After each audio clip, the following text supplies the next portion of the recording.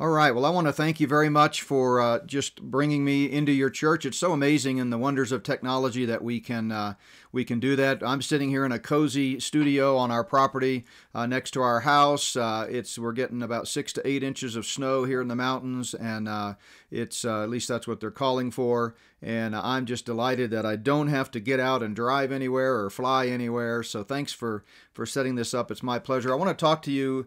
I've titled this "How to Interpret the News." Now, Brother Don asked me to kind of focus on a little bit on obviously on Bible prophecy and how that fits in with with the broader picture from Satan's perspective of trying to take over the world. And so, as I was thinking about this over the last few weeks, uh, this is something that I've wanted to do, kind of tie it up together around this common theme for for a while. So you guys are kind of the recipients of this. Uh, of this new presentation, but uh, I'm calling it How to Interpret the News. Uh, I'll mention this here at the beginning and then maybe again at the end, but a lot of this information comes from my uh, my two books, Spirit of the Antichrist, volumes one and two, and then the third installment in that is the one that just came out last month, and that's called Spirit of the False Prophet.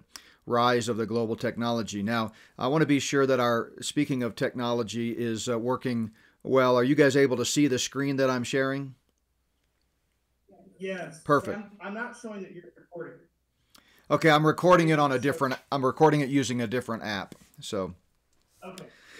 All right, so those are the those are the three book series. Uh, some of you probably already have those. If you uh, would like to get them, since we're not there together when we don't have our resource tables, uh, you can just go to our website, notbyworks.org, or we've set up separate web pages that you can go directly for each book, Spirit of the Antichrist.org and Spirit of the False Prophet.org. But um, I want to introduce this topic to kind of uh, show you why this is important. And let, let me tell you where we're headed. I'm going to give you a, few uh, pre preliminary principles uh, that kind of undergird what I'm talking about. Uh, if I had time, if this was a longer conference, if I was speaking multiple times, I would flesh out each of these principles in a little greater detail. But for the purposes of our time together, I'm just going to kind of go through them quickly.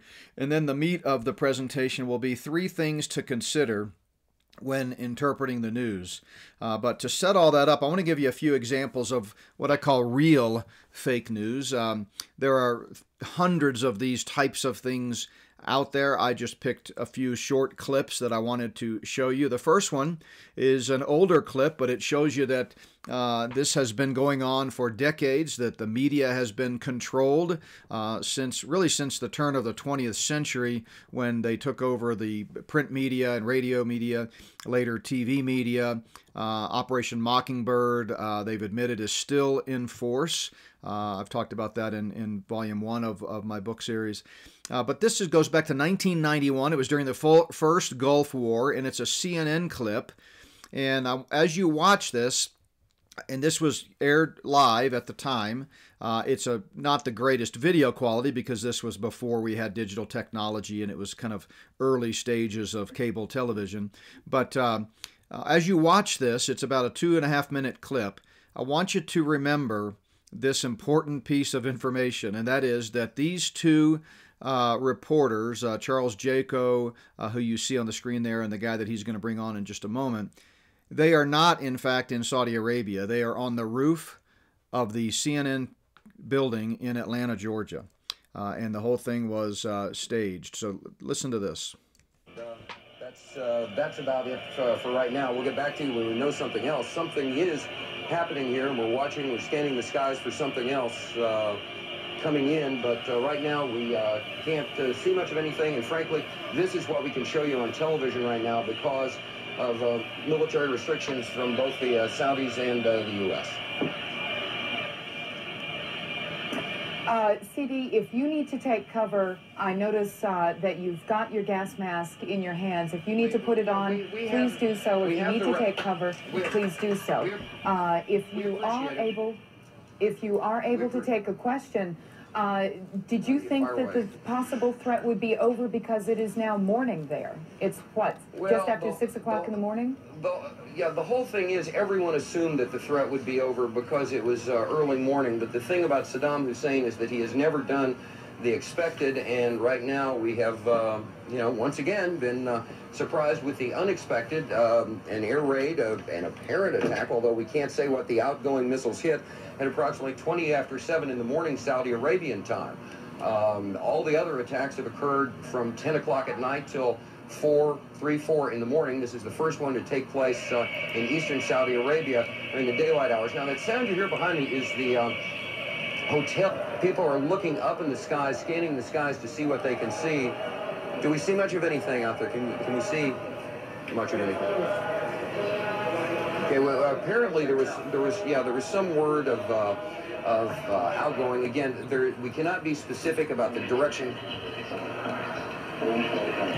all right, we are now led to understand that there are also firings in another city in Saudi Arabia. Uh, CNN's Carl Rochelle is, is here with me, just came up. Uh, Carl, I know we can't be very specific given these restrictions, but uh, within those parameters, what did you see? Well, what I saw, I, I didn't see anything hit. I looked very almost straight above us. There was a vapor trail coming from my right to my left, and there's a cloud of uh, something. It looks like it might have been an explosion, a cloud. Uh, oh, I'd say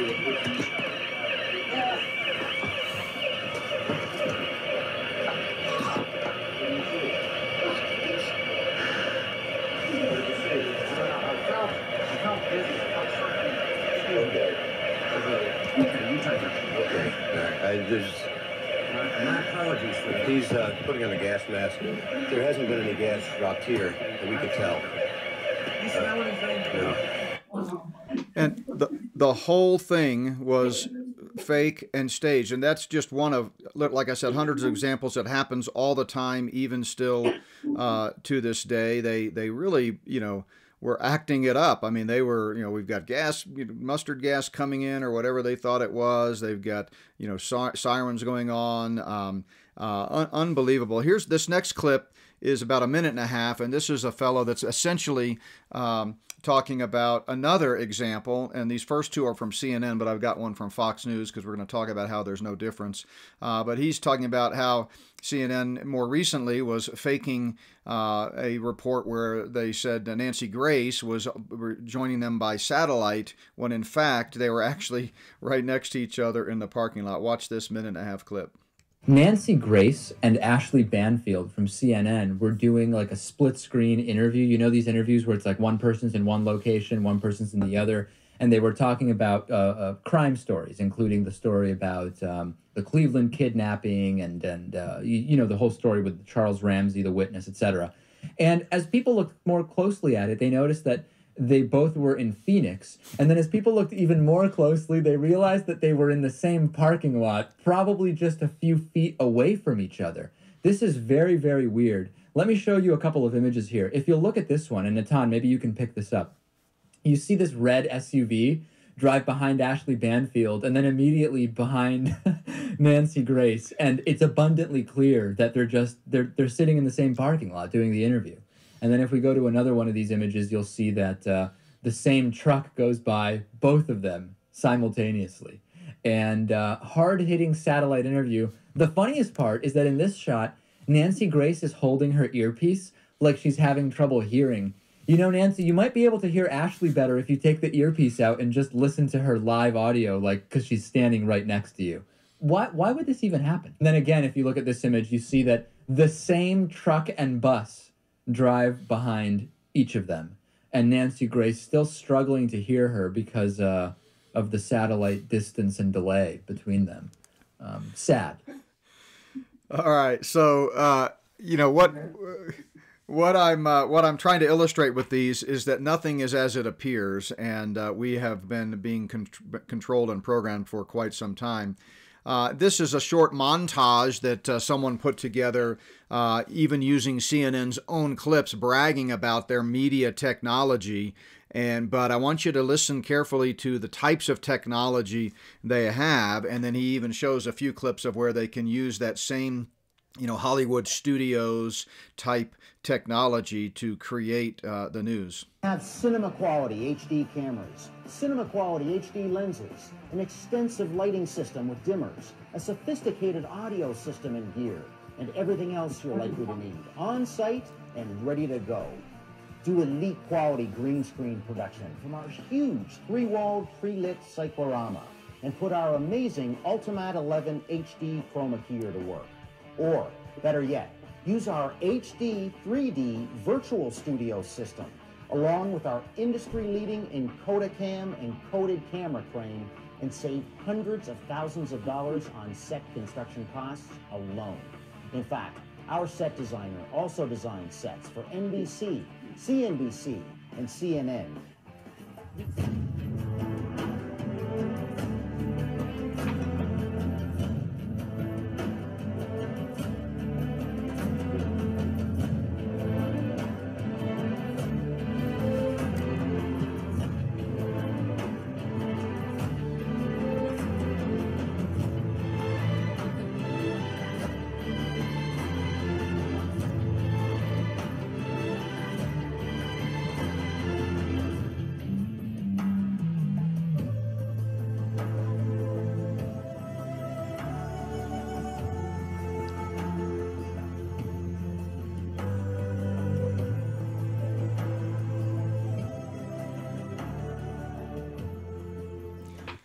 So again, you can see how easy it is to manipulate people. You never know where they are. This they've been caught doing this. All the networks, the Weather Channel, Fox, CNN, especially with uh, like reporting on hurricanes. They'll be they'll look like they're out in the middle of the storm with the hair blowing, the wind blowing fiercely, the umbrellas, uh, but it's all in a studio. Not always, but quite frequently. And the bottom line is you never know for sure uh, that what you're looking at is legitimate. Uh, here's Fox News. This is interesting. It's not a, a video per se, but uh, back during the Ghislaine Maxwell, uh, uh, you know, charges uh, in connection with Jeffrey Epstein, they Fox News wanted to show a photo so they picked a photo from Mar-a-Lago, uh, readily available online at Getty Images. You can find it even to this day through Getty Images. And it showed Donald Trump, his then girlfriend Melania, and uh, uh, and then Jeffrey Epstein and Ghislaine Maxwell. Uh, but of course, they can't have Donald Trump be in a picture with Jeffrey Epstein, so they just edited Trump out. Watch this. That's the original photo, and this is what they showed in the background as they were interviewing Jordan Merson. So the bottom line is deception is getting worse and worse and worse. You never know uh, what you're looking at, whether it's real uh, or not. Uh, the, the Bible tells us that things are going to get worse and worse in these last days. In fact, people are going to be giving heed in the last days uh, to deceiving spirits and doctrines of demons. And that's really the premise of this last 17 years worth of research that I've been doing that ended up culminating in these uh, three books. It's the, the, the, this, the premise is that we know what's going to happen during the tribulation period, the future 70th week of Daniel, which we'll talk about in a moment.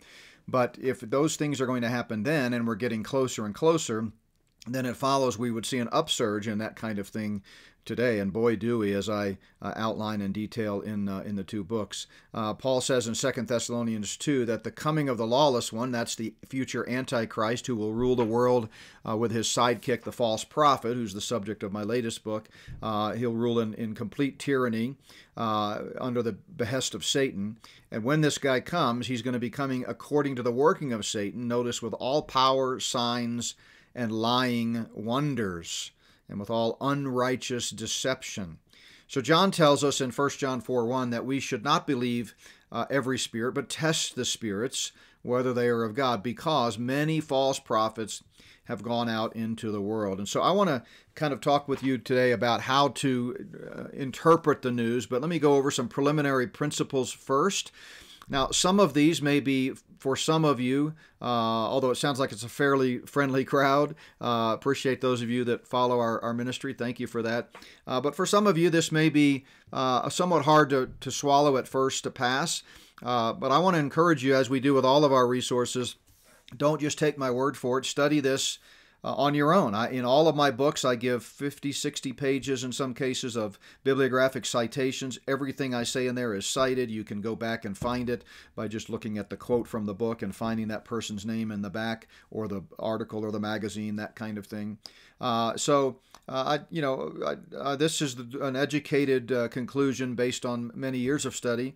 If if you're not sure if you agree, that's fine. I that's wonderful. I I love healthy debate and I love healthy research. So check these out for yourself. But here's some preliminary principles before we get to the three questions that you need to consider when you watch the mainstream news or any news today, uh, online or on TV or magazines, newspapers, you name it. So the first principle is this: almost nothing is as it seems. You know, we live in a world of time, space, and matter, but it's a world that is really reflective of a cosmic battle of a spiritual struggle between God and Satan. We're going to talk a lot about that uh, this morning. Uh, but almost nothing is as it's seen. One of the inscriptions that I have, I think it's in the first volume, is from Leonardo da Vinci, who said there are three classes of people those who see, those who see when they're shown, and those who do not see. And uh, what we've tried to do in these books is, is, show people, show people the facts, show people how we've been deceived, and show how all of it correlates with Bible prophecy, and God is working out His plan precisely as He said He would. So almost nothing is as it's seen. Number two, it is seldom about what it's about. A lot of times you'll hear me say it's never about what it's about. When I catch myself, I, I do try to soften that a little because, you know, sometimes real organic things do happen. It's, it's just the nature of life. But most of the time, uh, it's not about what it's about. In fact, I love what uh, William Casey, the former CIA director under Reagan during his entire term, uh, he said, quote, We will know our disinformation campaign is complete when everything the American public believes is a lie. Principle number three is there is no difference between the Republicrats and the Democrats. So if you're still wrapped up in the right left paradigm, I encourage you to read that chapter in volume one. I also address it a little bit in volume two. Um, but the fact of the matter is, we can document when they decided to go to the two party system, what their motives were for that, and that it's just all theater. It's like a, a Don King sponsored fight. It doesn't matter who wins, the oligarchs get richer.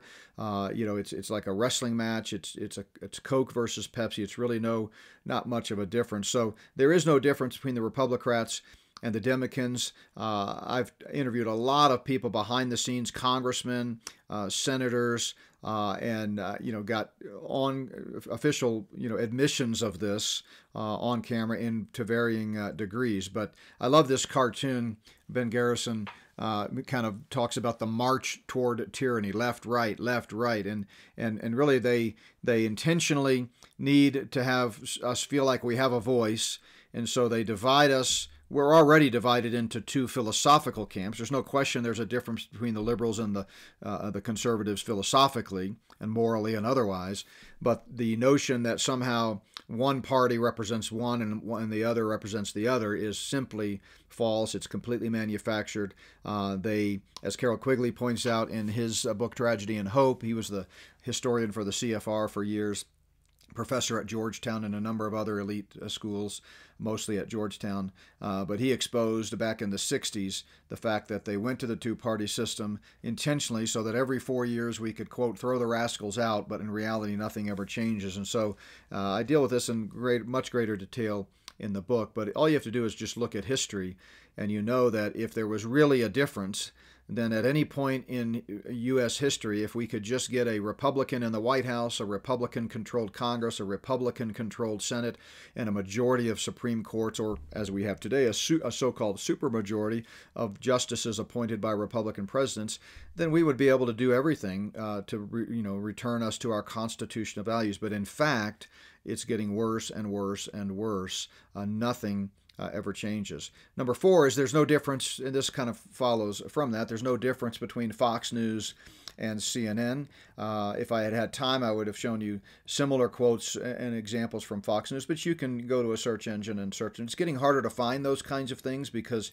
everything is more controlled now.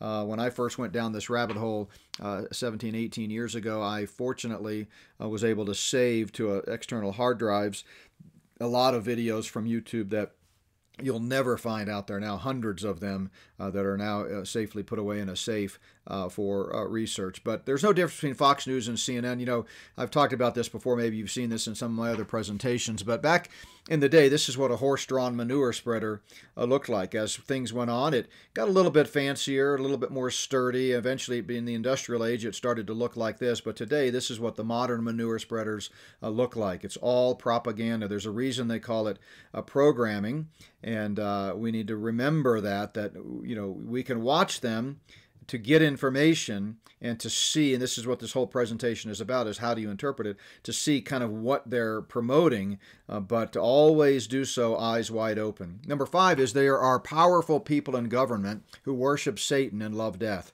Satan loves death. Jesus told us he's a killer from the beginning. He's a murderer. Uh, they love death. I have several uh, times in both books, all three books actually, where I address the depopulation and eugenics agenda that goes way, way back to the uh, you know 15th, 16th centuries. Uh, I mean, it goes back to the Garden of Eden, but in in more recent times. Um, and so there are actually people in the U.S. government in, in every government uh, who worship Satan uh, and love death. And so I talk about, for example, the Bohemian Grove, where they gather once a year. I give have a whole uh, section on this in uh, Volume 2, and I go through secret societies. But they gather, wear their satanic druid costumes, and they, uh, you know, lay down their conscience at the altar of the burning owl. And every major political figure, you know, worldwide, every major business person, every wealthy person, news commentators like Walter Cronkite and the like have all attended. Here's a picture uh, from one of the previous Bohemian Groves uh, with, showing Nixon and, and Reagan. Uh, number six, however bad you think things are, they are actually much worse. One of the biggest reasons most people don't understand and are not awake, as Da Vinci said, to uh, the Luciferian conspiracy is something called cognitive dissonance. They just cannot allow themselves to believe something that shakes their, their normalcy bias. They've, they've come to accept things the way they are. Uh, they've been uh, gr- they've grown up in that culture and they've been taught these things and so they just they just when you tell them some of these things they just look at you like you're you're nuts there's no way that could possibly be true but what i want you to understand is when you hear these things not only should you assume that in most cases they they are true i mean certainly there are made up misinformation and disinformation conspiracies out there that are not true. I'm a big time conspiracy theorist, but I only believe the conspiracies that are true. Um, so I, I admit there are some that are not true. But generally speaking, it's a good rule of thumb that when you hear something that you think there's no way this could be true, not only is it true, but it's actually much worse. Much worse. William Blum was a very well connected uh, you know, foreign policy guy, writer, author. Uh, here's a quote from his book Rogue State: A Guide to the World's Only Superpower. He says, "quote No matter how paranoid or conspiracy-minded you are, what the government is actually doing is worse than you can imagine." And we could look at quotes from uh, Hitler's uh, right-hand man, Joseph Mengele. He said, "The more we do to you, the less you seem to believe we're doing it." I think that's a, a very stark uh, foreboding reminder of where we're headed. Number seven, the U.S. does not have elections. We have selections. So this has been true ever since they went to digital vote tabulation machines many decades ago. I was talking about uh, this problem, uh, Dominion, mentioning it by name in my first book on this subject way back in 2012. It was called The Great Last Days Deception. Of course, nobody was really talking about it much. Uh, some people were, but in the church, very few were, because we bought into the right left paradigm. The problem is the right left paradigm is just an illusion. It, it's what I call Calvinist uh, voting. It really doesn't make uh, much of a difference. Uh, you can take your pick, left, right, it's going to end up in uh, full spectrum planetary control, just like the Bible says uh, it will. Number eight, the, the President, the Supreme Court, U.S. Senate, and almost all U.S. congressmen are controlled. All media is controlled. So when you see things happening and you see the storylines, just remember it's good theater, it's good script writing, uh, and uh, sometimes it's good script writing, sometimes it's not even all that good. Um, but it's not organic. Uh, the whole thing recently with the Speaker of the House, um, complete theater. Uh, I've said on air this week on a couple of radio shows be very, very leery of Mike Johnson. Uh, I know exactly where they're headed with this. This was all by design. He is not who you think he is.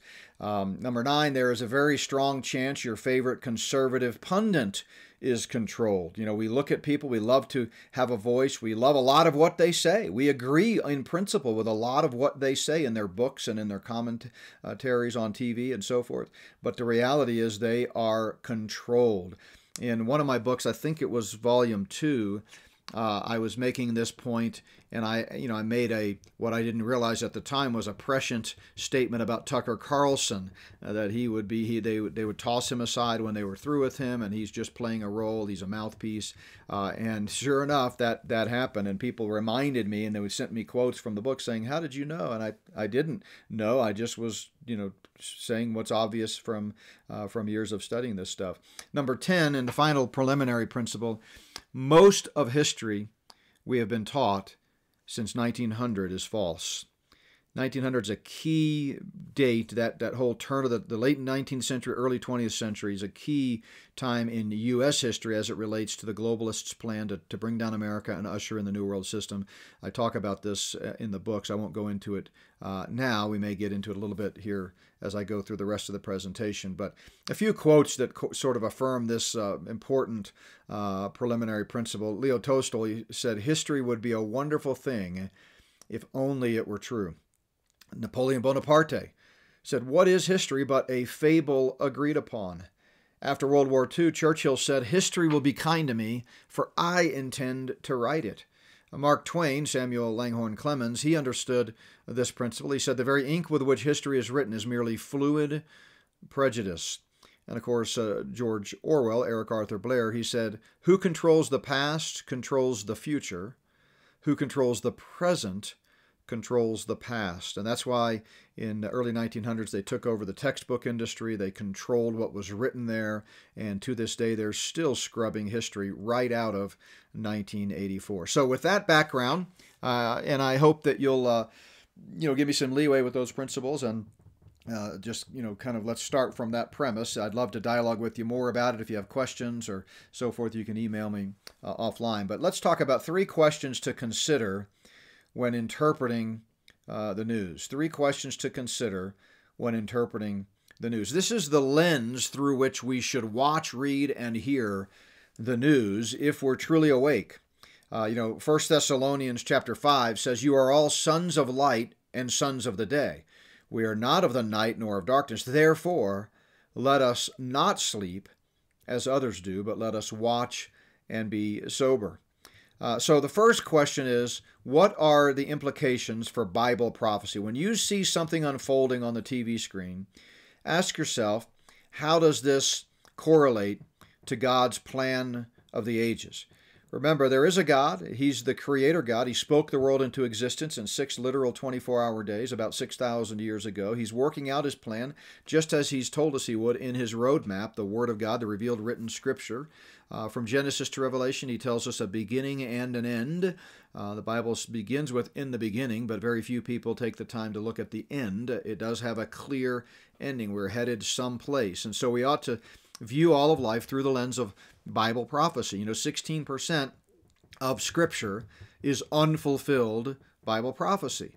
So if you don't study Bible prophecy, then you're only getting 84% of the Word of God. And I think he wants us to know the whole counsel of God. Jesus told the first century Jewish leaders, uh, he called them hypocrites. Uh, because he says, You know how to discern the face of the sky, but you cannot discern the signs of the times. And sadly, many people today in the present age are making the same mistake. Uh, we understand the weather. You know, first thing I did when I got up this morning was look at the weather and and see if if the storm they had said or the winter weather they were predicting uh, had materialized for this weekend. And sure enough, it's still uh, there, and I can look out and I can see the clouds. Now, of course, these days a lot of it is manufactured, it's manipulated, it's through geoengineering. I have a whole entire chapter on that in Spirit of the Antichrist, Volume 1. But still, whether it's manufactured or organic, you can still see what's coming. But for some reason, people can't do that spiritually or choose not to do that when it comes to God's plan of the ages. In reference to his second coming, Jesus said, When you see these things begin to happen, look up and lift up your heads because your redemption is drawing nigh. Paul tells the church that we should be eagerly waiting for the Savior. We need to remember our citizenship is in heaven. We're just passing through. Um, uh, he says, uh, or that's the same verse of Philippians 3:20. So, uh, if you if you look at God's plan of the ages from a panoramic view, from creation to the present, what we find is that in the final age, we're living in the church age right now, But in the final age, there's going to be a transition uh, known as the, the tribulation period or the 70th week of Daniel, which I'm going to explain in just a moment. But that transition period will be the culmination of prophetic history, leading us into the final age, the kingdom age, that glorious age when Christ comes back in fulfillment of prophecy, takes the throne, and rules in perfect peace and righteousness and justice. But right now, we're living in the last days. The Bible calls this the last days because, as you can see from that chart on the screen, indeed, it's the final age prior to the kingdom age. So, what an exciting time to be alive. And I believe very strongly, based on the signs of the times, that we're living in the last of the last days. Now, uh, we can't set a date. I, I'm not claiming that God revealed something to me in a you know a bowl of spaghetti or something. I don't have any special revelation, but I can just tell you, following the principles of Scripture and looking at the signs of the times and seeing how the stage is being set, I don't believe it's going to be much longer. Uh, I also believe that the Luciferians, who I'm going to introduce here in just a moment, uh, they have telegraphed for us what their target date is for ushering in the one world system politically, religiously, and economically. And we're, it's all coming to a head uh, right now. Uh, in fact, Paul says in the last days, the present age, perilous times will come. Well, guess what? They've come. You go back and read chapter 3. It reads uh, like uh, the headlines from uh, today, 2 Timothy chapter 3. We're living in these perilous times. Uh, John, going back to John, says, it is the last hour, a synonym for the last days. And as you have heard that the Antichrist is coming, even now, many antichrists have come, by which we know it is the last hour. So, as we think about this first uh, question to ask, how does it relate to Bible prophecy? We need to we need to understand the key prophecy in all of the Bible as it relates to the end time. This is absolutely foundational. If you've not studied, and I suspect that you have, but if you've not studied Daniel's 70 weeks prophecy, let me give you a quick primer on it uh, here for the next five minutes or so. This, this really helps us understand where the world is heading. So to set the stage, uh, Daniel, you know, five centuries or so before Christ, uh, is uh, living during the end of the prophesied 70-year captivity that Jeremiah had prophesied about, the Lord had showed uh, Jeremiah. He realizes that 70 years is coming to an end, and so he, he prays and uh, he asks the Lord here in chapter 9 what comes next. Now, Daniel gives us a ton of prophetic information. Chapter 2 with the statue, uh, chapter 7 uh, with Daniel's vision of the beasts, uh, chapters 11 and 12 about the future uh, Antichrist, and so much more. But chapter 9 really gives us uh, pinpoints for us uh, how this next phase of God's plan after Jeremiah's 70 year captivity for Israel is going to unfold. So I'm going to walk you through this uh, prophecy. We don't have time to, to read it and, and, and go verse by verse, but I'll give you kind of a high level Cliff's Notes of what's happening here. So Daniel says the next phase of God's plan is not going to be 70 years like Jeremiah's, but 70 times 7. 70 Shabuas. That's the Hebrew word translated in most English Bibles, weeks. So that's why it's often called the 70 weeks prophecy. But a Shabua is a seven year period. So it's not going to be 70 years like it was in the in the previous prophecy, but the next phase of God's plan for Israel involves 70 seven year periods or 70 shabuas, or as I call it on the screen there, a 490 year plan. And Daniel tells us exactly each step of the way when these the, this plan is going to unfold. So he starts out and he says, from A until B uh, will be 69 shabuas or weeks, which is 483 years. So the first phase is going to be 69 weeks or 69 seven year periods. Well, what, what is A?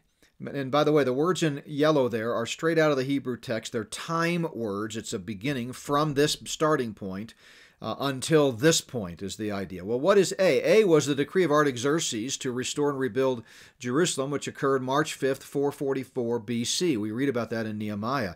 I just finished teaching through Nehemiah at my home church, Plum Creek Chapel. So that's when the, the clock started ticking on that first 483 years. Uh, if you do the math, 483 years on the Hebrew calendar at that time it was 360 days per year.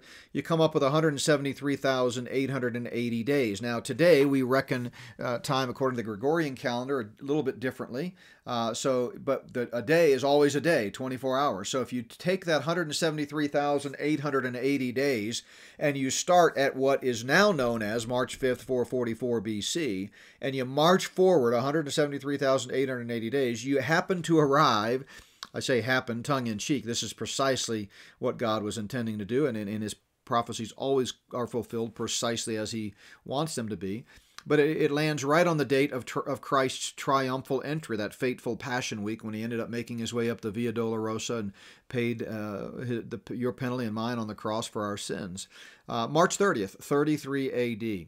So, in other words, uh, Daniel's prophecy says, "Know and understand this: from the restoring, uh, from the decree to restore and rebuild Jerusalem until Messiah the Prince has come, will be 483 years." And exactly that's what happened. Christ rode into Jerusalem in fulfillment of uh, the Old Testament on the back of a donkey. Of course, there was a splattering of uh, Jewish people at the time who cried, Blessed is he who comes in the name of the Lord.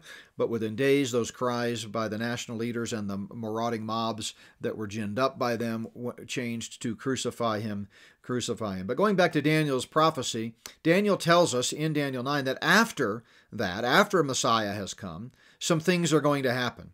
Uh, after that 69th week, uh, we get to C. So from A to B is 483 years. C takes place after that. And what are those things that take place? Well, this Messiah is going to be cut off, which he was uh, a few days later. And a few decades later, the city and the temple will be destroyed, which they were in 70 AD by uh, the Romans. Uh, so then, the next time word that we see is the word then. And he says, then after these things, uh, the next phase is going to begin, which is the final seven years of the prophecy. So we've had 69 weeks. We have one week left. We've had 483 years in history, but there's still one seven year period uh, remaining. And, and, and, and after that, after the Messiah is cut off and the temple is destroyed, the uh, Antichrist will sign a covenant, confirm a covenant uh, with Israel, uh, with many, between Israel and many, uh, we can talk later about what that many is, but it's all of these nations right now that are in the news surrounding uh, Israel for one final seven year uh, period. So uh, if you just look at what's on the screen, that's Daniel's prophecy in a nutshell. And notice the final seven year period has not begun yet. We're still living in this gap of time between the 69th week and the 70th week, which Daniel's prophecy clearly explains. There's going to be some things that happen outside of the 490 year plan. The 483 years have already happened. The final seven years happen in the future. The New Testament comes along, and God reveals in the New Testament the church age as also taking place in this gap of time. Paul calls it a mystery. Uh, it's essentially a parenthesis, if you will, uh, in this uh, you know flow of thought with Daniel's uh, prophecy. Now we don't know when this final seven year period is going to happen. That's what is going to usher in the return of the Messiah to set up his kingdom on earth. It, it leads up to the final cosmic battle, the Battle of Armageddon. So if you look at a end times chart, uh, you can see right in the middle there that seven year tribulation or Daniel's 70th week. Uh, it starts with the signing of the covenant in, in Daniel 9:27. It ends with Armageddon and the second coming of Christ. We're still living in the church age. This is obviously not drawn to scale, but we're living in this church age uh, between the 69th and 70th weeks of Daniel. We don't know when that 70th week uh, is going to begin. The book of Revelation also perfectly correlates with Daniel. Uh, it's amazing. In fact, uh, in most seminaries, when you study the book of Daniel, you study it simultaneously with the book of Revelation because it tells the same tale. Uh, Revelation, contrary to popular opinion, is not difficult to understand at all. It's one of the easiest books in the Bible to outline. The first three chapters deal with seven literal churches in the first century that Christ had a message for. Chapters four and five set the stage for the outpouring of God's wrath that is to come. Who is worthy to open the seals of God's wrath? The Lamb, he is worthy. The seals are open in chapter six. The wrath begins. It lasts for seven years. It includes a series of judgments and several other things taking place. Fascinating uh, study. Uh, but you get to chapter 19, Christ comes back. Chapter 20 is the millennial phase of the kingdom, and ch- chapters 21 and 22, uh, the eternal state. So if we think about the news, you need to understand what's going on in the news relative to this roadmap of Bible prophecy. And so let's talk quickly here about human government. I'm going to fly through this because I've talked about it in other uh, presentations, but it's kind of important to understand from a human perspective how human government is really uh, you know uh, developing exactly the way God intended for it to. So there are three phases to God's uh, human civil government we might call it on earth. It started with a globalist government, divine globalism. God told Adam and Eve fill the earth and subdue it and have dominion over the whole earth. Uh, and the whole earth indeed did have one language and one speech. But something happened at the Tower of Babel and after that we have a shift to nationalism in God's human government. God uh, said uh, to Nimrod and the people there, Come, let us go down and confuse their language, that they may not understand one another's speech. And so that was about 2242 BC, about 100 years after the flood. And God at that time established uh, nationalism, divine uh, nationalism. And then we get into a return, if you will, to globalism. One day, God's divine plan is going to come full circle back to globalism. It's going to occur in two phases, two stages, if you will. First, there'll be satanic globalism. This is going back to Daniel and talking about that fourth kingdom, the revived Roman Empire, that's going to devour the whole earth. Uh, but when Christ comes back to take the throne, globalism will take on an entirely new nature back to divine globalism. The Bible tells a story that returns to a pre fall Edenic state in uh, the, the, the garden, just as it was before uh, the fall. God provided redemption, uh, solved man's predicament that we got ourselves into, and one day all the nations will go up from year to year to worship the King, as Zechariah tells us. Uh, Solomon, one of only two Psalms written by Solomon, he tells us, Let the whole earth be filled with his glory. I talked about this psalm on a podcast uh, this week. Uh, and then you, you see Isaiah, this famous passage that we read a lot at Christmas Unto us a child is born, unto us a son is given. That's the first advent.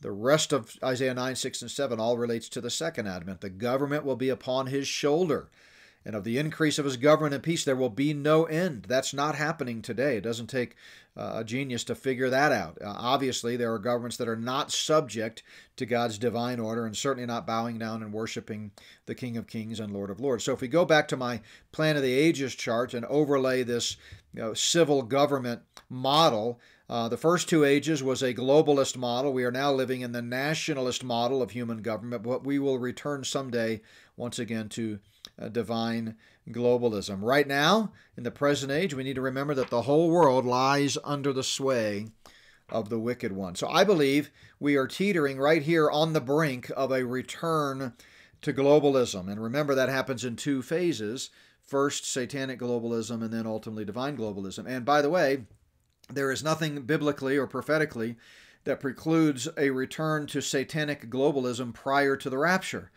So we're promised that the rapture will take place before the great day of the Lord's wrath, that seven year tribulation period. But I believe very strongly uh, that if the Lord tarries is coming, we are headed towards a one world government very quickly. Uh, the Antichrist and false prophet won't have enough time to initiate and inaugurate a one world system. They're going to step into a fully developed, mature uh, one world system. Uh, and so that leads us to the second question to ask not only what are the implications for Bible prophecy, but secondly, you should ask what are the implications for Satan's plot? Because, and this kind of flows from the prophetic scriptures. God's word is very clear that uh, there is a cosmic battle taking place in the heavenlies. So each of these questions, by the way, I've tried to use a little bit of alliteration to help make it easier to remember. As you're sitting there watching Fox News or CNN or whatever you're reading, uh, you need to think, okay, what are the three things I need to be thinking about? Well, the first was Bible prophecy, now Satan's plot with a P. Uh, but the Bible is clear that we are not wrestling against flesh and blood. We're wrestling against principalities and powers and rulers of the darkness and against spiritual hosts of wickedness in the heavenly places. Satan uh, tried to overcome God in the heavens. He led a coup. It didn't end well.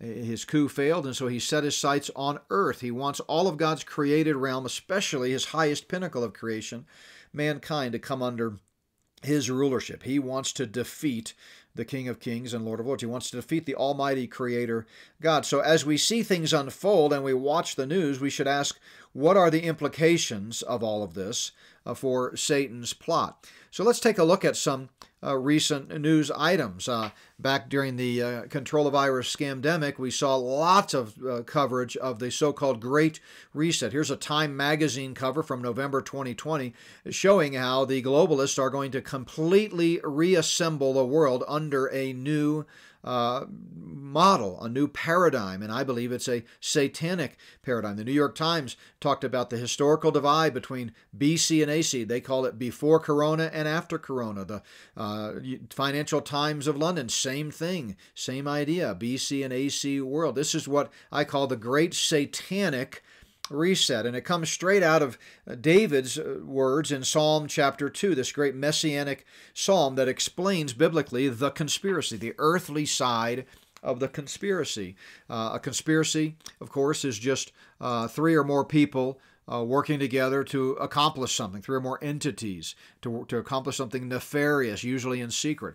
The greatest conspiracy of all time is called the Luciferian conspiracy. That's a biblical term as well as their own uh, term, and it involves Satan leading uh, the conspiracy, uh, working in tandem with evil spirits in the unseen realm and human accomplices in the earthly realm. And David in Psalm 2 talks about the earthly aspect of that conspiracy, the human co conspirators. He says, Why do the nations rage and the people plot a vain thing? Remember, we're talking about what are the implications for Satan's plot as we read the news. How is this possibly uh, serving their agenda? Well, he goes on the kings of the earth and the rulers, they all take counsel together. Who are they taking counsel against? The Lord and his anointed. That's Yahweh, the Creator, and his eternal Son, our Savior, Jesus Christ. And what are they saying to the triune Godhead? They're saying, Let us break their bonds in pieces and cast away their cords. Satan hates the fact that God is sovereign. He wants control. He has control issues, and he's trying to tear down uh, God and break these bonds of control. But how does God respond? David goes on to say, God laughs at them and holds them in derision. And one day he will speak to them in his wrath and distress them in his deep pleasure. He says, Because I have already set my king on my holy hill of Zion. See, even though Christ right now is not on the throne of David, he's at the th- right hand of God on that throne, which is the throne in waiting. It's not the literal earthly throne of the kingdom. It's as if he already is. It's as good as done. From God's eternal perspective, God exists in the eternal now. He's outside of time, space, and matter. We think linearly. We know that from a human perspective, the kingdom is yet to come. It's down the road. I believe getting closer and closer. Uh, but from God's perspective, it's as good as done. It's already done. So that's the, the, the Luciferian conspiracy in a nutshell. Now, if we zoom in again on the, the human aspect of that, the people that are conspiring with Satan. I've diagrammed this out and discussed this at length in Spirit of the Antichrist, Volume 1. And again, you can go to spiritoftheantichrist.org if you don't already have that book, spiritoftheantichrist.org. But here's the diagram that I give in the book. Uh, it's at the top of this uh, sort of structure is a group of maybe six or eight families um, you can learn more about this by going to Fritz Springmeier's work. Uh, he's done the, the best work on all of this. Uh, Bloodlines of the Illuminati and another more recent book. Just search for uh, Fritz Springmeier on Amazon. Uh, I actually, or look in the bibliography of, of, of my uh, second volume. Uh, but it's just amazing when you look back through ancient history and see these bloodlines of these of these human beings that are literally praying to Satan, taking their marching orders from him. Uh, as distasteful and shocking as it might sound, it really shouldn't be because it, the Bible uh, talks about this quite plainly in the ancient Near East. But these are the people that even to this day are sacrificing children, drinking blood, and worshiping Satan. And uh, and they then give the marching orders to the second tier. Now, one very important thing to remember about the, the, the Luciferian plot here is that it's not monolithic. It's they're not omniscient or omnipresent or omnipotent. They can't push a button or give an order and, and make it happen automatically the way Almighty God does. God alone is sovereign. The Bible says God is in heaven. He does whatever he pleases. That is not true of Satan and his minions. Uh, so it's not uh, monolithic. Sometimes there are competing agendas. Often there are. There are rogue elements. There are people that get upset with other people and they do things that are off script. But nevertheless, Satan absolutely has a plan. He's working it out. in connection with his demons and uh, these human co-conspirators. And so at the second level, uh, you've got the, the, business and finance realm. You've got secret societies. I talk about all of this in the book series, but there's hundreds of thousands of people at this level, many of whom are not aware that they are part of an overtly satanic uh, agenda to take over the world. Most of them are. Most of them are at the top tier. This is the top level globalists. This is where our favorite uh, liberals that we that we don't like uh, the you know the likes of the you know the uh, George Soros, David Rockefeller, you know that that whole bunch, the Clintons, Obamas, and so forth. But it's not just the liberals; it's the global elites. It's the Bush dynasty. It's the Zbigniew Brzezinskis. It's the Henry Kissingers and and the like. So again, you got to stop thinking in terms of right left. You got to think in terms of Satan's uh, minions. And at that level, those people certainly know that it's uh, satanic, but that's they're not the top tier. You don't know most of the names at the top tier. Uh, they're they're the ones that sit in dark, smoke-filled rooms giving the orders. And then at the bottom level, you got millions of people uh, that are involved in this conspiracy in various categories like politics, uh, military and intelligence, religion, uh, the UN, and all of its uh, you know attendant organizations. Um, the vast majority of people at this level have no idea they're part of a larger plot.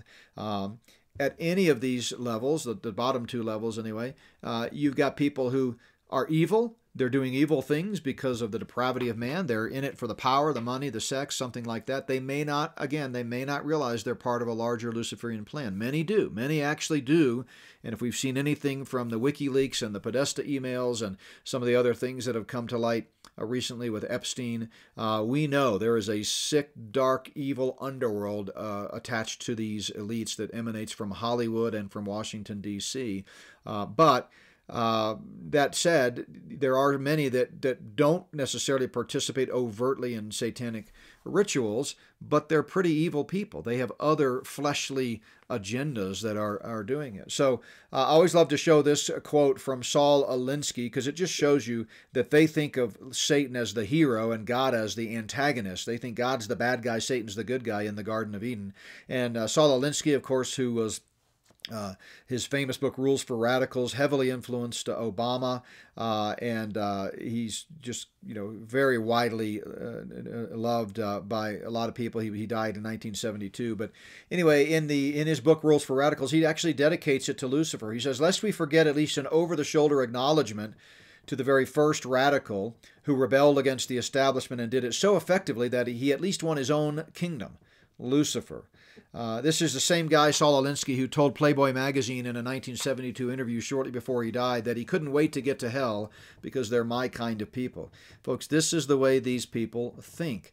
Uh, his earthly accomplices uh, think of Satan as the good guy and uh, they are working out his plan. It's a futile plan, but they don't believe it. See, Satan uh, understands the Bible. He knows it better than most Christians. He just doesn't believe it. So he thinks he's going to win in the end. He thinks he'll win Armageddon. Uh, and uh, so he's he's lining things up, preparing the way using these human accomplices. Here's a, another quote uh, we don't have time to get into Operation Mockingbird and the way the state-run media is is so controlled and manipulative. Uh, but this one, uh, if you haven't uh, heard of this and we're not aware of Walter Cronkite's uh, Luciferian connections, this will blow you away. It's a 26-second quote taken uh, from. a meeting of the World Federalist Association where he was being given the Global Governance Award for all of his help in helping the elite try to usher in a one world uh, Uh, government. Listen to what he says as he accepts the World Federalist Association's Global Governance Award. Award. Their leader, Pat Robertson, has written in a book a few years ago that we should have a world government, but only when the Messiah arrives. he wrote, and literally, any attempt to achieve world order before that time must be the work of the devil. Well, join me. I'm, glad to sit here at the right hand of Satan. I'm glad to sit here at the right hand of Satan. You, you heard how the elites in the audience just laughed derisively when he talked about conservative evangelicals who think that only Christ has the right to rule over the world. Uh, and then a little bit later in the presentation, uh, they pipe in by satellite uh, First Lady at the time, Hillary Rodham Clinton. You guys know a little bit about her. Uh, and here's what she said. We would like to bring you a message from the First Lady of the United States, Hillary Rodham Clinton. Good evening and congratulations, Walter, on receiving the World Federalist Association's Global Governance Award. For more than a generation in America, it wasn't the news until Walter Cronkite told us it was the news. Yeah, there's a little bit of a double entendre there. It wasn't the news until Walter Cronkite told us it was the news because uh, they are absolutely controlled. They're telling you what they want to tell you. That's been documented in the Church Committee hearings in Congress, even. Uh, the whole talking point idea, you know, uh, Bill O'Reilly picked up on that terminology, but he didn't make it up. That was what the CIA called their memos that they gave to thousands of journalists, both in the print media and the television and radio media, and eventually the online media it says this is what you're going to cover, and, and it should be fairly self-evident if we weren't so blinded uh, and you know been controlled through the compulsory government schooling system and just culture itself in our upbringing. But when you think about it, it's a pretty big world out there. Eight what eight billion people or so, lots going on in the world. It's a pretty big country as well. 300 and what 50 million people in America. On any given day, you'd think there's thousands of noteworthy, newsworthy items happening, and yet if you turn on the mainstream media, they're all covering the same thing. Why? Because it's controlled. Uh, I don't have time to get into a, whole lot about this guy, but I have a whole uh, chapter focused exclusively on Yuval Noah Harari. Uh, it's called A Wolf in Wolf's Clothing in the new book, uh, Spirit of the False Prophet. This guy is uh, Klaus Schwab's right hand man, and uh, he is just, I think, really the, the mouthpiece right now for the coming one world system, or what they call the Great reset, what I call the Great Satanic Reset. Uh, he's got several choice uh, quotes. Um, he talks about how we are all now hackable animals. I'm just going to go through these uh, quickly because I want to play a short clip of his. But he talks about how Amazon and Google and Coke and, and, and the Russians and American and Chinese are all trying to hack you right now. Uh, he says, uh, really forget about school essays, you know, talking about AI. I have a whole chapter on AI. It's the most powerful chapter in the new book, chapter six uh, talk about AI Jesus and what they're doing with all of that. But uh, you know, he says, look, all this talk about people using AI and Chat GPT to plagiarize essays in school and college and so forth, that's nothing. He says, what you really need to think about is the 2024 election and how they're going to use that to produce fake news stories and even news scripture. So listen to this one and one and a half minute, 90 second or so clip talking. Uh, this is Harari at a TED talk. This is several years ago, by the way but he's just finished his TED talk. You'll you'll notice how people are just effusively applauding uh, all that he's just said. But I want to play you a segment of the Q and A at the end that the host has with him, uh, and he you'll hear uh, how Harari talks about we just don't need so many humans. We got way too many humans. We need to get rid of them. Listen to this.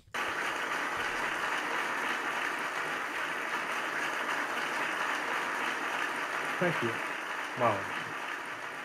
Yuval, you have a new book out. After Sapiens, you wrote another one, and uh, it's out in Hebrew, but not yet translated into. I'm, I'm working on the translation. As, okay, in you, in, in the book, if I understand it correctly, you argue that actually the amazing breakthrough that uh, we are experiencing right now not only will potentially make our life better, but uh, they will create, and I quote you, new classes and new class struggles, just as the Industrial Revolution did. Can you elaborate for us? Yes, in the Industrial Revolution, we saw the uh, creation of a new class of the urban proletariat. And much of the political and social history of the last 200 years involved what to do with this class and the new problems and opportunities. Now we see the creation of a new massive class of useless people. As computers become better and better in more and more fields, there is a distinct possibility that computers will outperform us in most tasks and will make humans redundant. And then the big political and economic question of the 21st century will be what do we need humans for? Or at least, what do we need so many humans for? Do you have an answer in the book? Um, at present, the best guess we have is uh, keep them happy with drugs and computer games but this doesn't sound like a very appealing future. okay. Yeah, I mean, he caught himself there. What do we need humans for? And then he realized, wait a minute, I'm a human, at least for now. He's trying to become a transhuman, like all of the satanic elites. But he says, well, at least why do we need so many humans?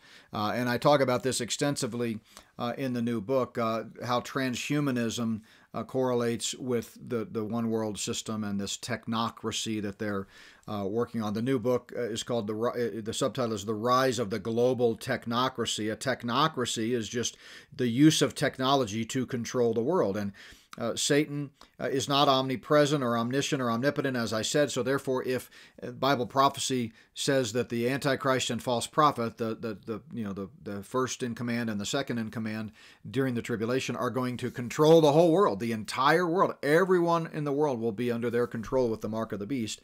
Uh, then how are they going to do it? They're going to have to use uh, technology.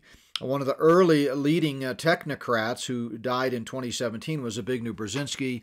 He was a Pol- Polish American diplomat. He served in, in Republican and Democratic uh, parties alike, uh, administrations alike. Arguably the most significant uh, foreign policy uh, analyst of the 20th century.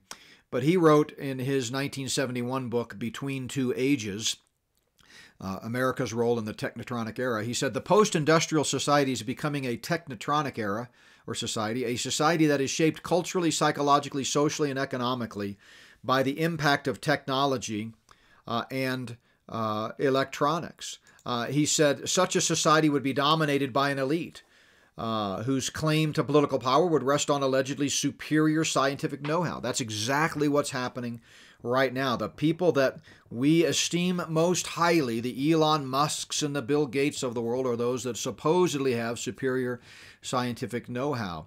And he says, unhindered by the restraints of traditional liberal values, by liberal he means freedom, uh, you know, values of freedom and liberty, this elite would not hesitate to achieve its political ends by using the latest modern techniques for influencing public behavior and keeping society under close surveillance and control. I mean, it's right out of Revelation 13. He said, Soon it will be possible to assert almost continuous surveillance over every citizen and maintain up to date complete files containing even the most personal information about the citizen. He says persisting social crisis, the emergence of a charismatic personality, and the exploitation of mass media to obtain public confidence are the stepping stones in the piecemeal transformation of the United States into a highly controlled society. Remember, this was 71.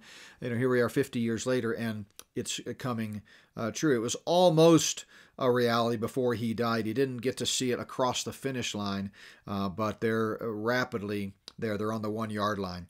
Uh, one of the most uh, chilling things that he said shortly before he died in 2017 was Today it's infinitely easier to kill 1 million people than to control uh, 1 million people. So, what we're talking about here is the New World Order. This is their term for it. Uh, they're, all over. If you take the time to look for it, which I've done in, in my research over the last several years, you see it all over the place. It's no accident that the discovery of America was called the New World. This was to be a beachhead for the New World Order, advancing the globalist uh, agenda. But let me just uh, quickly, before we get to the final point, zoom through a few uh, salient quotes. Here's Biden from March 21st, 2022, talking about how there's going to be a new world order and we've got to lead it. Uh, he, when he was uh, vice president, he said, "In setting the American agenda for the new world order, we must begin with a profound alteration and traditional thought." Here's Kissinger when Obama was elected. They, Obama was the first and so far only truly Manchurian presidential uh, man, and uh, they they really thought they had him completely under control, and they thought that in his day they were going to really usher in, or at least get us much much closer to the one world system. Uh, he went rogue in a couple of areas. Like I said, it's not monolithic; they're not completely all under the control of the top tier. But when he was elected, Kissinger said, Well, boy, now we have a real chance to create this new world order. Uh, he said the new world order cannot happen without U.S. participation.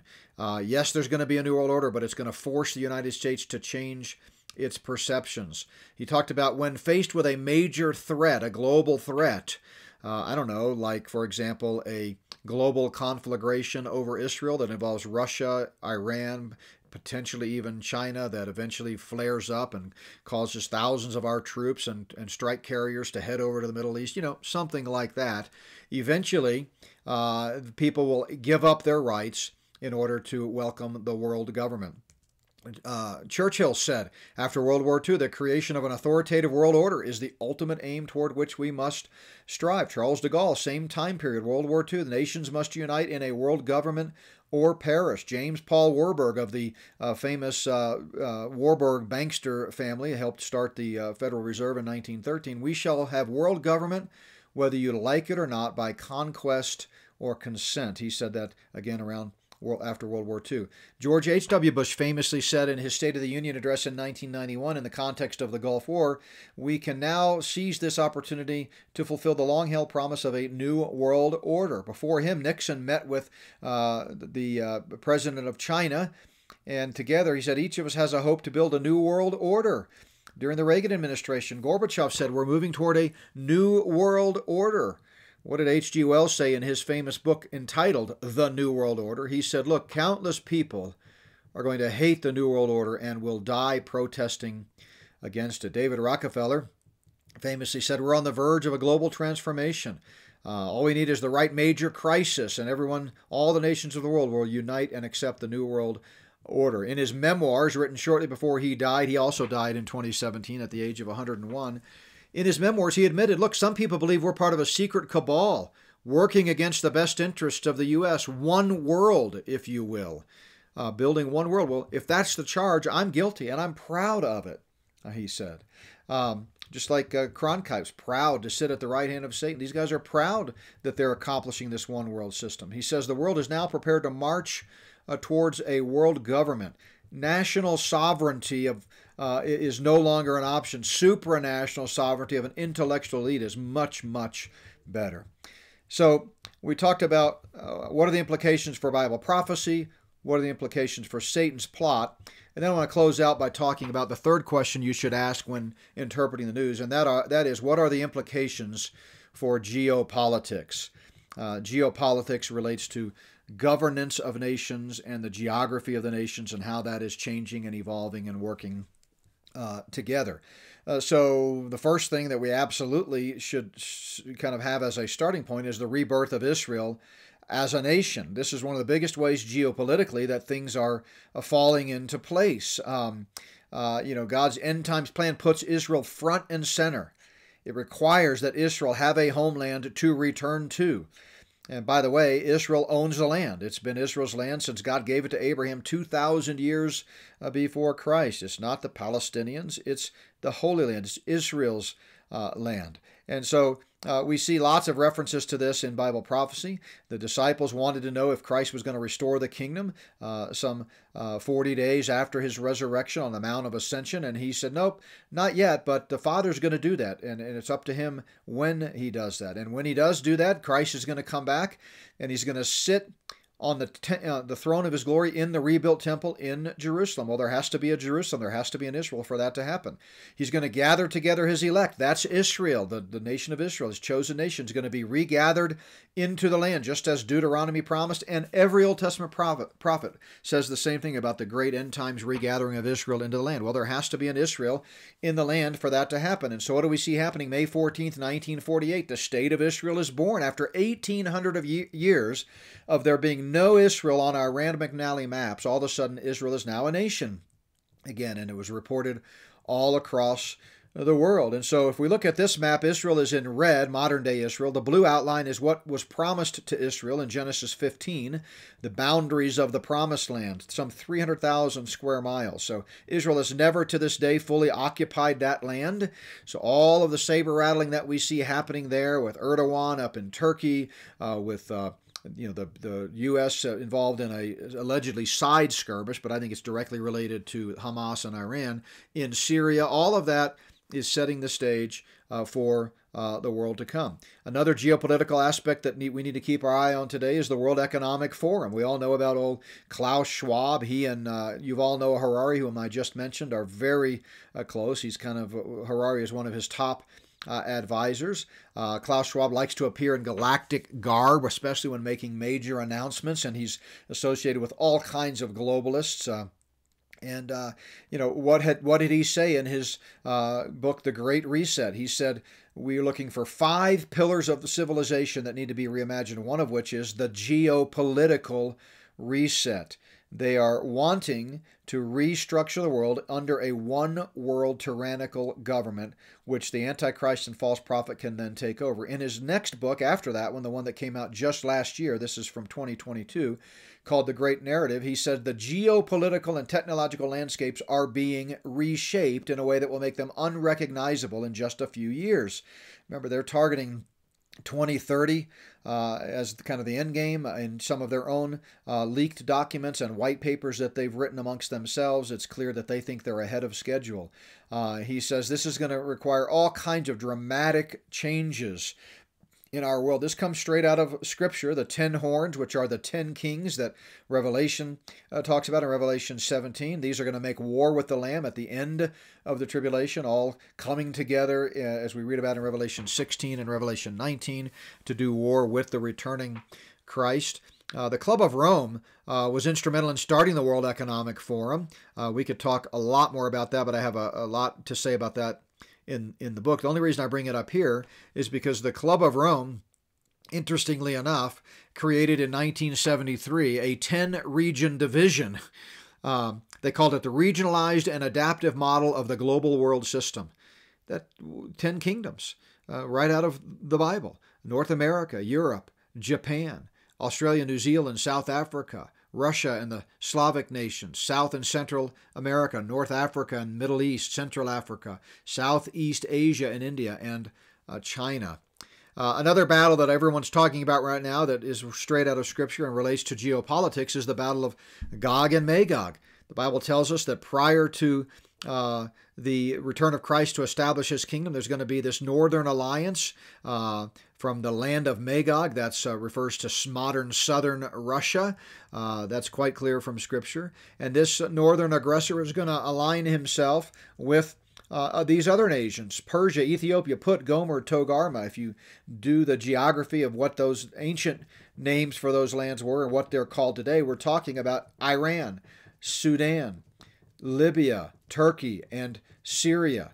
Now, what do those nations along the bottom of the screen have in common? They're all in the news right now as they, in fulfilling a Bible prophecy, are preparing, setting the stage uh, to come against Israel. Now, I don't know if this is Gog and Magog. It certainly seems to be preparing the way for that. We don't know the timetable. Again, it could, you know, happen quickly. It may happen more slowly than we think, but I all week long on the Not by Works podcast we had experts on Israel, uh, and I asked them all this same question: Do you think this is the lead up to Gog and Magog? And every one of them said, "Yeah, it sure seems like it." I had Tom Hughes, I had John Haller, I had Bill Salus, I had uh, Dr. Randall Price, some of the top experts on Israel and Bible prophecy. But there's no question that Russia and Iran are working uh, hand in puppet. Uh, so, you know, what are the headlines? What are we seeing in the last two weeks? Uh, we're seeing this conflict, the worst conflict modern Israel has ever seen, the highest death toll. They have hundreds of thousands of Israeli soldiers and IDF on the ground now going in uh, to Gaza. Uh, Netanyahu says Israel's fighting on all fronts. That's uh, Hamas will be destroyed.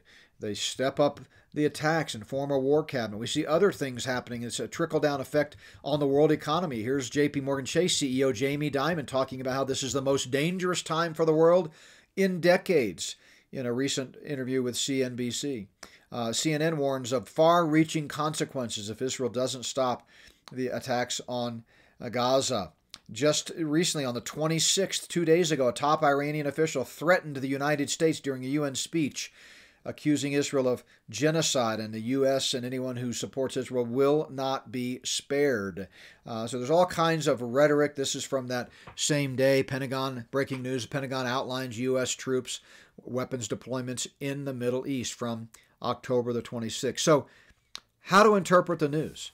Well, as you read the news, remember those preliminary principles that I talked about. Nothing is as, as it seems. Uh, it, it's never about what it's about and then ask yourself what are the implications for what I'm seeing or hearing or reading for Bible prophecy? See, nothing can happen that thwarts God's prophecies.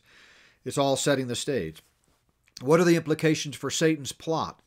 And what are the implications for uh, geopolitics. And so, again, the most recent book uh, gets into a lot of this. Uh, it's kind of part of a, a three book triad. They all kind of stand alone, so you can read any one of them in any order that you want, but they're kind of all dealing with the same broad subject of end times prophecy and Satan's plan uh, to kind of uh, take over the world.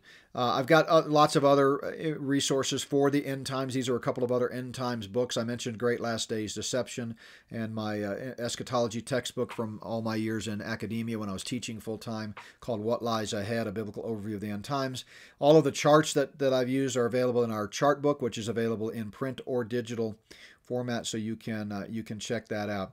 All right, with that, um, I'm gonna kind of shift gears now into a Q&A. Again, thanks for giving me so much time and I'll take as I'll, you know, allow you as much time as you need to get all of your uh, all of your questions answered. So I'll turn it over to Don now.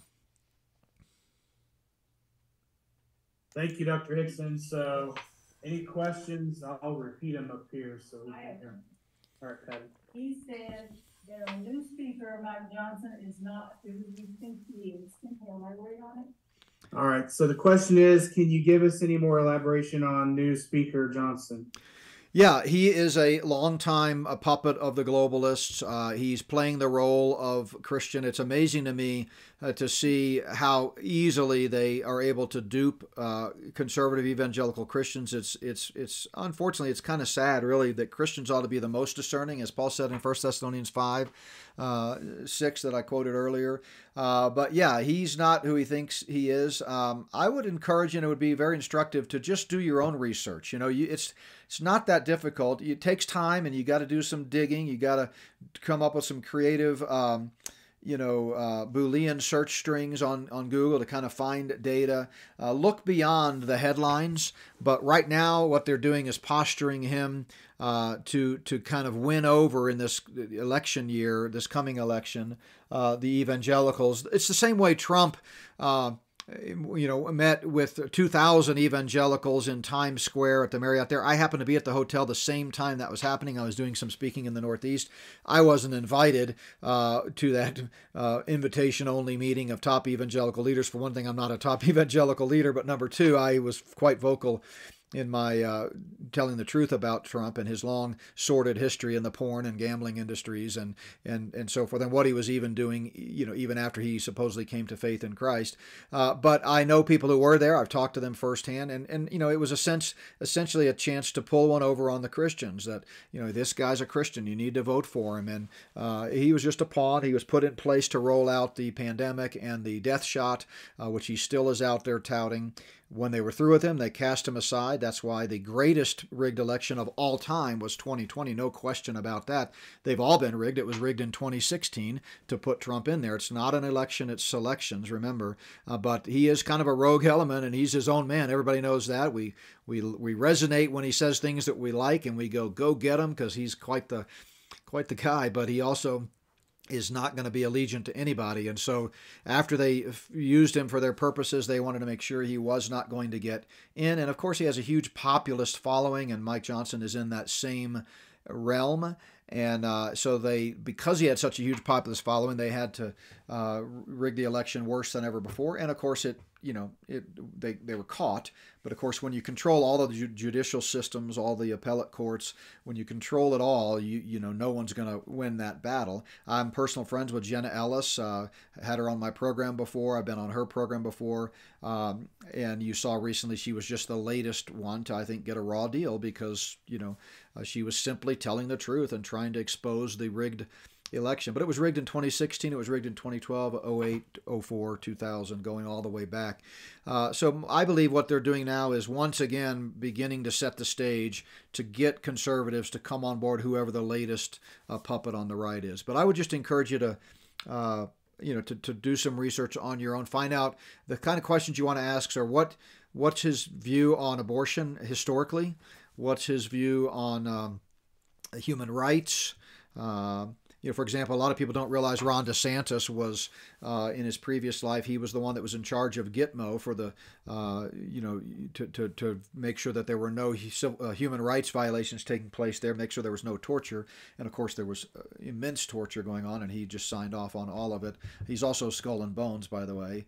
Uh, so I think you just have to dig a little deeper than the official bios that you're going to see on the news. So sorry for the long answer, but I think it it kind of gives you some fodder there. Yeah.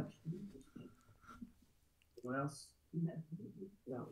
Uh, do you see any David in this world of giants from a political perspective, you know, coming out of uh, Washington D.C.? Is there anybody that you do support?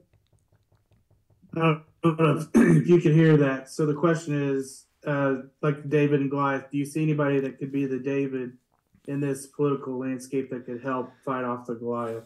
Yeah, so that's, you know, I don't think you're going to like my answer necessarily, so I want to be gracious and, you know, encourage you. Here's what I believe I believe that if you believe your vote counts, you absolutely should vote. You should vote with a biblical worldview. You should vote uh, for God's candidate. Uh, I think David's a great example. That's a great metaphor. I, have actually written about that, about back in 2012, it caused me to become disenfranchised with a lot of uh, Republican conservative groups because I did not support Romney. Uh, and I said, uh, you know, I used David as an example. You know, when uh, Samuel came along and uh, he asked Jesse, you know, let's see all your sons, all the normal popular candidates, the ones that could win. You know, we want the guys that can win. You know, these third party candidates, they can't win. So we're just going to go with a Satan worshiper, you know, Mitt Romney, who is a Satan worshiper, by the way. He's a Mormon.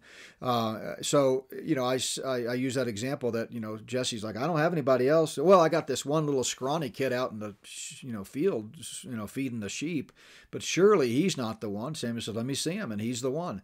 So I think philosophically, theologically, biblically, if you believe your vote counts, you should absolutely vote and vote your conscience biblically.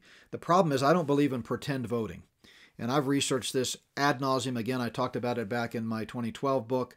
It's all a rigged game. It's not an election, it's a selection. You you go into these booths, you pretend to vote, then you sit back and you watch the media, state-run globalist controlled media tell you who the next president's going to be. You have no chain of custody of the ballots, you have no physical ballots even if you do have a physical ballot, you can't the, those don't matter. What matters is the dots and dashes on a computer screen on a server somewhere where lots of, you know, congressional hearings and and independent studies, books, journal articles have been written about how easy it is to manipulate the vote. A, a, computer whiz kid at 18 years old can be sitting in a computer terminal or cubicle somewhere and with a few keystrokes and a $100,000 paycheck from some elite change the outcome of the election in any state anywhere in the country. So it's completely rigged, and I just refuse to be made a fool of. I just don't believe in pretend voting. When I was a kid, we used to have pretend votes. We'd play house, we'd play, you know, all kinds of imaginary games. Uh, but uh, you know, I just don't want to be made the fool of. You know, they have elections in Iran, they have elections in,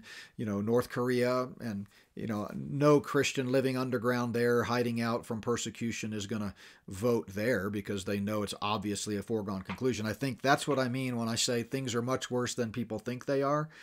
Now to your question, uh, as I as you'll notice on my preliminary comments, I said most congressmen are controlled. Um, that's because every two years we elect new congressmen, and they cannot control every voting district. And every two years, inevitably, there's a handful of God fearing, patriotic men and women who want to serve their country, want what's best for our country.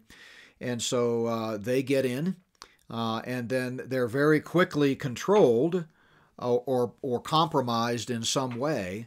And I have firsthand knowledge of this. I can, you know, I could elaborate that on if we have time.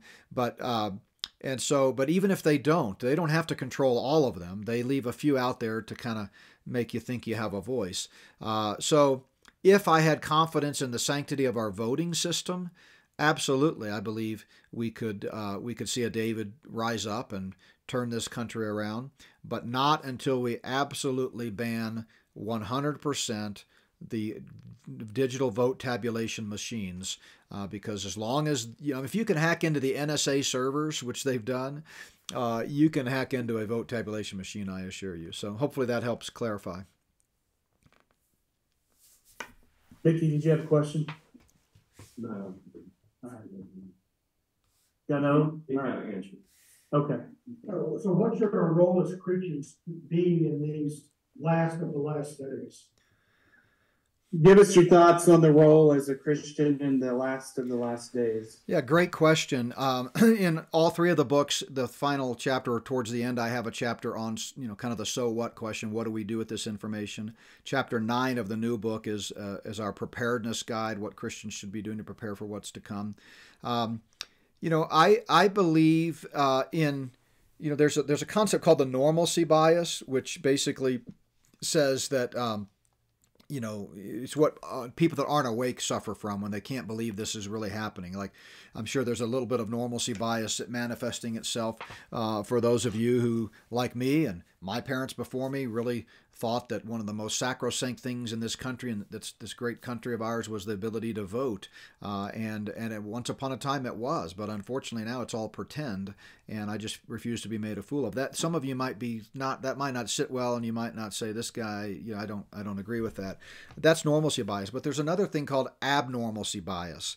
Abnormalcy bias is for those who are awake, who understand Bible prophecy, who see the state of affairs in the world and we have this tendency to think it's all going to come to an end tomorrow. It's kind of the chicken little concept. It's all the sky is falling tomorrow. Um, the sky might fall tomorrow, but in the meantime, what should Christians be doing? We need to be doing what God's Word tells us to do, which is the Great Commission. We need to wake up every day asking ourselves, how can we glorify God? How can we raise our children? How can we make a difference in this sin stricken world? Paul says we are to shine like lights in a perverse generation. None of that's changed. Uh, this is not the time to wave the white flag of surrender, move to a mountaintop, climb in a hole, and sing kumbaya. Now's the time to continue serving the Lord, eyes wide open realizing that there's a lot going on and we do need to be prepared. Remember, Proverbs says the wise person sees trouble coming and prepares for it. Uh, we trust the Lord, obviously, that's a given. That's the, the whole premise of the Christian life is we walk by faith, not by sight. But at the same time, knowing what's happening, you'd be foolish not to take precautions and prepare for the kinds of things that I believe, if the Lord tarries is coming, are going to happen. So uh, we share the gospel all the time, everywhere we go. Uh, in fact, you know, uh, for the purposes of the uh, the video here, you know, uh, I've said it several times that Christ died for our sins and rose from our dead for, for, for our, rose from the dead. But the only hope of eternal life is to place your faith in Jesus Christ. That more than 160 times the New Testament conditions eternal life upon faith alone in Christ alone. That's the only means. You can't earn it. You can't work for it. That's the premise of our ministry, not by works. We've been around since 1999. Titus 3:5 says, "Not by works of righteousness, which we have done, but according to His mercy He saved us." So now more than ever, there's an urgency to this uh, gospel enterprise. We need to be sharing the good news with others, and we need to make sure that we've placed our faith in Christ. You know, there's a lot of people sitting in churches and sitting in prophecy conferences who think they're saved because they walked an aisle, signed a card, you know, uh, made a commitment of some kind, but commitments don't save you. Salvation's not a bilateral contract where we commit something and God says, okay, I'll take your commitment now, you're going to heaven. It's a unilateral gift. We do nothing but come empty handed. Nothing in my hands I bring, simply to the cross I cling. And we trust in Jesus Christ, who died and rose again for our sins, as the only one who can forgive us and give us eternal life. So I think. Uh, you know what we raised our children to do. We woke up, uh, as I said, 17 years ago. We continued to live life, uh, but we know what's coming. We see through the biblical lens, and we're we're living life, but with a different vantage point. So hopefully that helps. It does. Uh, any other questions? I don't know how to phrase it. All right. Um, wondering if you think it's because the Democrats are doing everything they can to cancel, um, Robert Kennedy Jr. Yeah. If that is some kind of, uh, something that Christians should pay attention to. All right. Um, so JB, here's the here's the question. I'll, I'll kind of paraphrase it here. With what the Democrats are doing to Robert Kennedy, trying to cancel and quieten him, the question was, is that something we should pay attention to? How should we interpret that? Thoughts on that? Yeah. So uh, when you say Democrats, I assume you mean Democans. Uh, yeah. yeah. Okay. So um, yeah. Yeah. So uh, I I tell you what, you know, there are real organic truth tellers out there that are controlled. As I said, not everything is controlled. There are real things that happen, um, and so you always need to allow for that possibility. Um, and so, I, you know, Robert Kennedy, I really appreciated his sounding the alarm and raising the flag about you know the death shots and uh, he and several other people that, that I've had the chance to interact with, like Dr. Lee Merritt uh, and, and several of the, the, the, key doctors that were out there sounding the alarm. And in Spirit of the Antichrist Volume 1, I have 50 pages on big pharma and vaccines with incontrovertible smoking gun evidence from thousands of doctors across the globe in all different countries uh, that uh, you know gave evidence that indeed this was pre-planned and that the vaccine is not a vaccine, it's a gene altering bioinjection. So I appreciated his stand on that.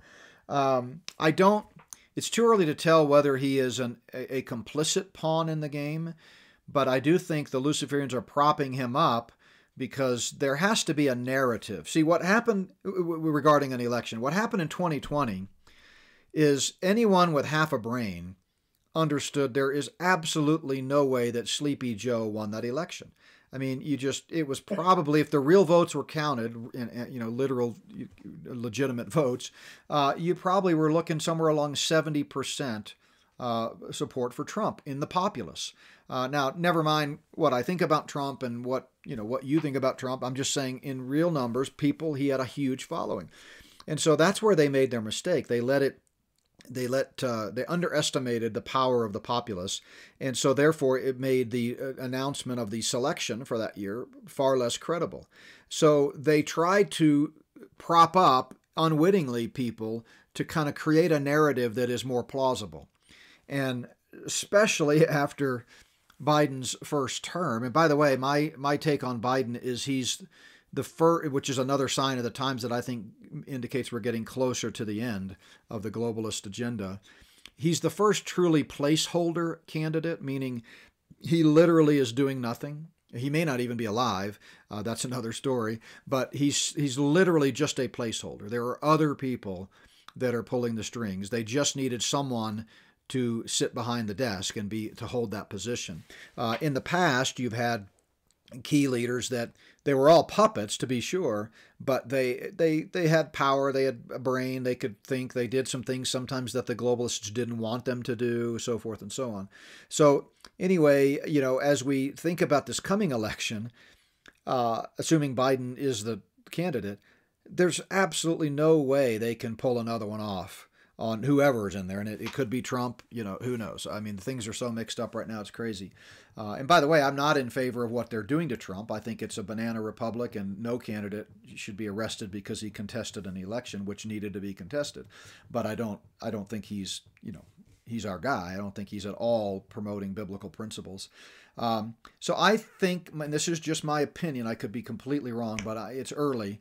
But it wouldn't surprise me if they're creating a narrative for this third party candidate, kind of like they did with Perot, to give a plausible reason to put uh, Clinton in there. Remember, Clinton won the election in 92 with only 43% of the popular vote.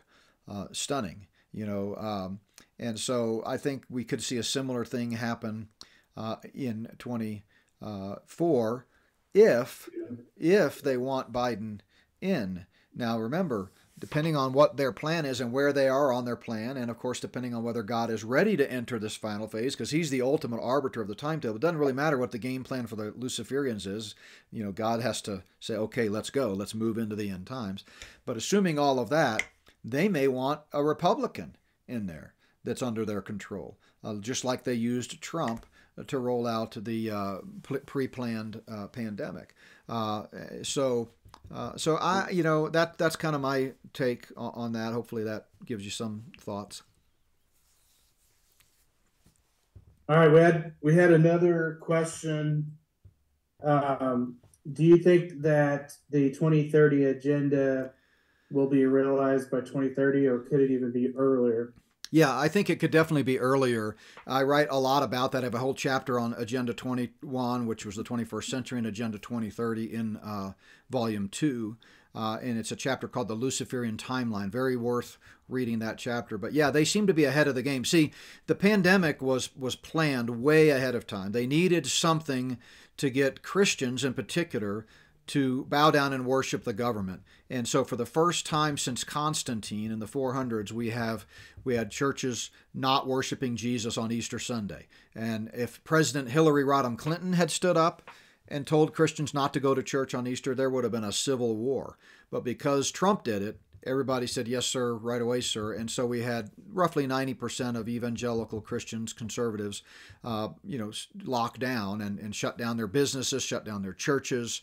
Um, by the way, an outstanding film, if you haven't seen it, I don't think it's in the theaters anymore, but it's a documentary called The Essential Church find it on one of the streaming platforms and watch it. it will it'll really embolden you for I think what's coming next. Uh, great film, but uh, the essential. The, the, yeah, sorry, we're, we're showing it here Friday night. Oh, perfect. Okay, good. Well, I'm not a MacArthur fan for other theological reasons, but I believe in giving credit where credit's due, and it's a extremely, uh, in, you know, encouraging and emboldening uh, film. But um, uh, so, so again, you know, back to the elections, um, or what were what were we just talking about? I lost my train of thought. Oh, the 2030. Oh, yeah. Yeah, I do think it seems like they were very pleasantly surprised with how easily they got people to, to roll over. Um, and uh, so I think they've moved up the timeline. At least they've said they have. Again, it doesn't mean it's going to happen, but um, you know, I think 24, 25, those are going to be key years if, if the Lord doesn't come back before then, which he certainly could. Uh, but yeah, I think it could happen sooner. Hey, JB, I got a question for you. It's hard to filter out kind of the fake news. Do you have any sites or places you would suggest as a Christian to get the news through a biblical lens? You know, you really can't. You, you can get, there are sources out there, independent alt, alt media sources that generally speaking are going to tell you what's happening and then you're going to have to interpret it yourself because everybody has an agenda even the alt media you know right now you're seeing a lot of people in the conspiracy world who correctly understand that things are not as they appear that there's a global elite or they call it the deep state or things like that uh, trying to take over the world but unfortunately they're not connecting the dots biblically. So they're anti-semitic. They're they think the zionists are the tip of the spear. They, they don't get it. So but you can get good information from some of those people. So i think that's what i tried to do in this presentation is think in terms of those three arenas bible prophecy satan's plot because you can learn a lot about his plot from his human accomplices what they're saying. And then of course geopolitics. Um, you know there are sources like uh, uh, World uh, Joel Skousen's World Affairs Brief. Uh, that's a paid subscription.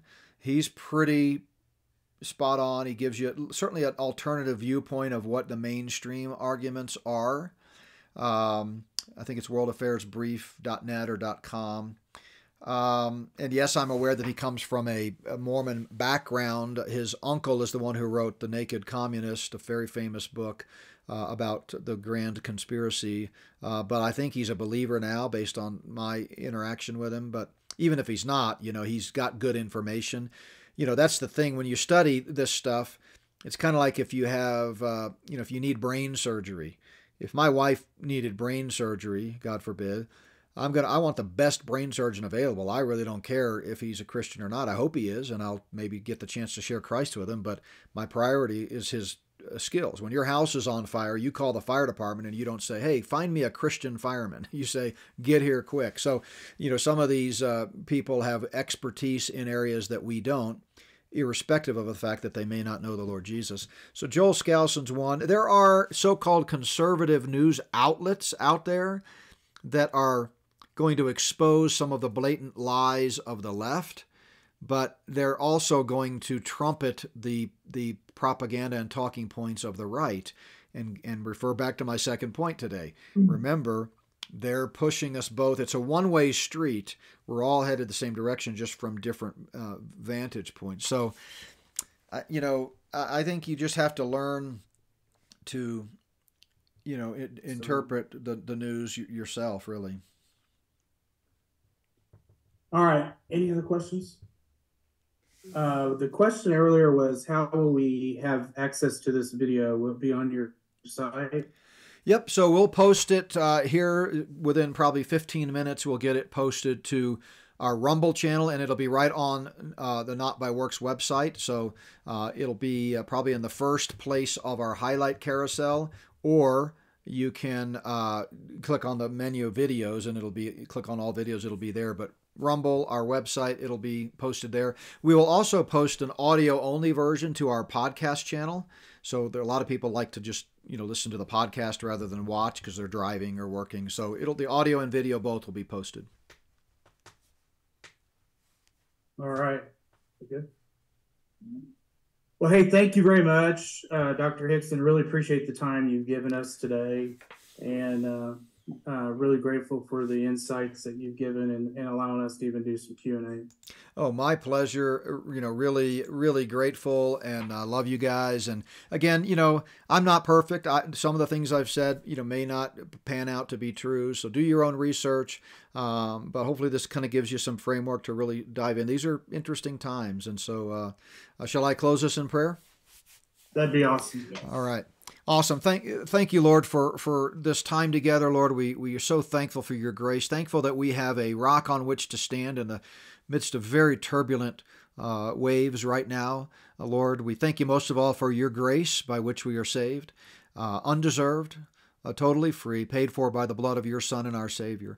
Lord, I thank you for Faith Baptist and what you're doing in their midst. I pray that you'd just continue to help them to make a difference in Springdale and uh, across the globe through their mission work. And Lord, we just pray that you'd protect our families, give us wisdom to know how to uh, prepare for what, what lies ahead, and uh, help us to remain faithful. Help us to be able to say uh, that, uh, like Paul did, that we fought the good fight and we finish the race strong. And so, Lord, we love you and we thank you. In Jesus' precious name we pray. Amen. Amen, guys. Thank well, you very much. You you bet. We'll get this posted.